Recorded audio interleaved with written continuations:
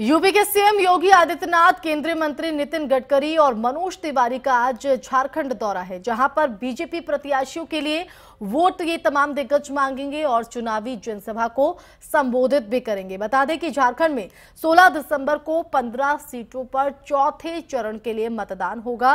कल तीसरे चरण का मतदान यहाँ पर हुआ और अब ये तमाम दिग्गज पहुंचकर बीजेपी उम्मीदवारों के पक्ष में वोट मांगने की अपील लोगों से करेंगे। तो झारखंड दौरे पर सीएम योगी नितिन गडकरी, मनोज तिवारी मौजूद रहेंगे। तो चुनावी जनसभाओं को संबोधित करने का कार्यक्रम और इन चुनावी जनसभाओं से लोगों के वोट साधने की कोशिश होगी। बीजेपी प्रत्याशियों के लिए चुनाव प्रचार यहाँ पर किया जाएगा। 16 दिसंबर को चौथे चरण के लिए मतदान है।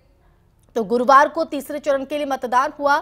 बढ़ चढ़कर लोगों ने हिस्सेदारी दिखाई और अब चौथे चरण पर सभी की निगाहें टिकी हैं और उसी से पहले तमाम दिग्गज झारखंड पहुंचकर अपने अपने प्रत्याशियों के हित में पक्ष में चुनाव प्रचार करने पहुँचेंगे और ऐसे में मनोज तिवारी, केंद्रीय मंत्री नितिन गडकरी और सीएम योगी आदित्यनाथ भी झारखंड पहुँचेंगे, जहाँ वो कई चुनावी जनसभाओं को संबोधित करेंगे।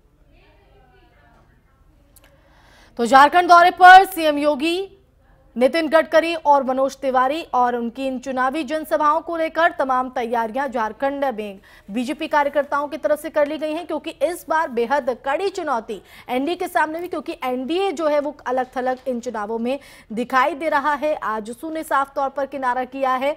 तो ऐसे में किस तरह से बीजेपी के पक्ष में वोट करें, कैसे इन वोटों को साधा जाए, ये तमाम कोशिशें तमाम दिग्गजों की तरफ़ से।